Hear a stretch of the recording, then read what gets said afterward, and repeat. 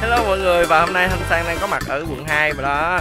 Xung quanh đây rất là đẹp luôn. Rồi, Mình sẽ quay cho cả nhà cùng xem nha. À.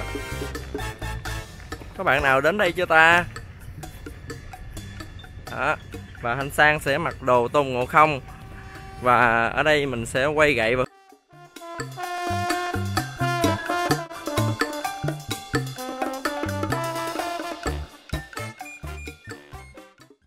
Rồi, bây giờ mình bắt đầu mình sẽ chuẩn bị nha.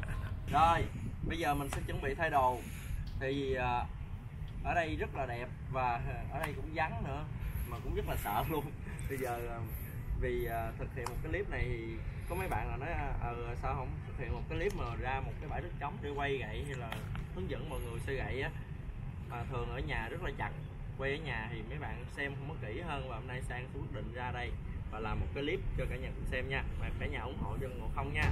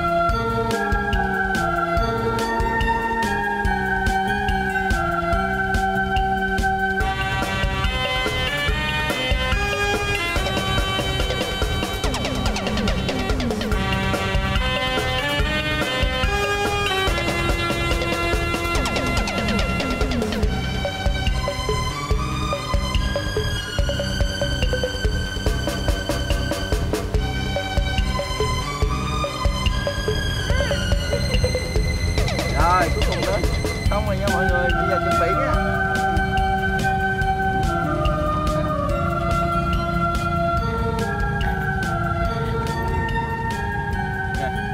Nhớ bấm like và subscribe kênh youtube của ngộ không để xem nhiều video hay hơn nữa.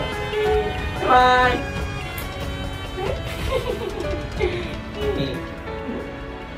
Bye bye.